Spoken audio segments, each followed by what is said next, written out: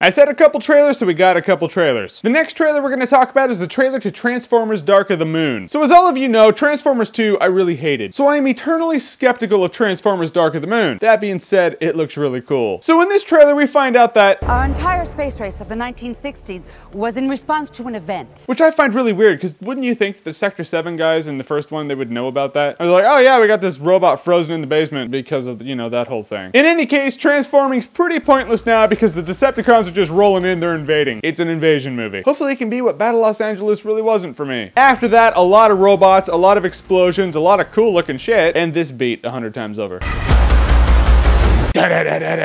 Which is funny because why are they taking over our planet? I mean, the first one they were looking for the cube, the second one they were trying to make a movie. And maybe they're just bored. They're like, we've been hiding under the moon for so long, we just need to kill shit. Ah, fleshy little sacks called humans. Let's do it. And when anyone in a movie says things like this, Everything humans know of our planet, we were told had been shared.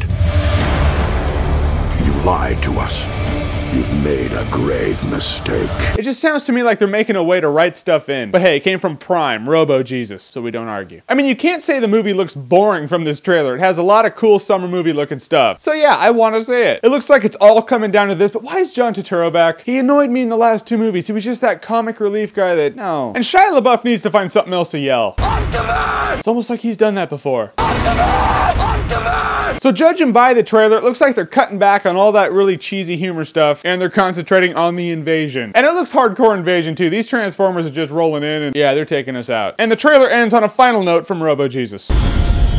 You may lose your faith in us, but never in yourselves. Thanks, Prime. And then the hentai tentacles come out of nowhere and squeeze that building and knock it over. There is that. So if this movie sticks to what it should be, which is a really cool Transformers movie, a good action movie, a good action alien invasion movie, life should be good. As long as they leave out the racist robots, cut back on the stupid parents, and cut back on the humor, could have ourselves a sweet ass movie. There's a Transformer dragon. It is awesome. So I put a link to the trailer below. Go check it out. Come back here, comment below, let me know what you think. But if you like what you've seen here and you want to see more, click right here to see more.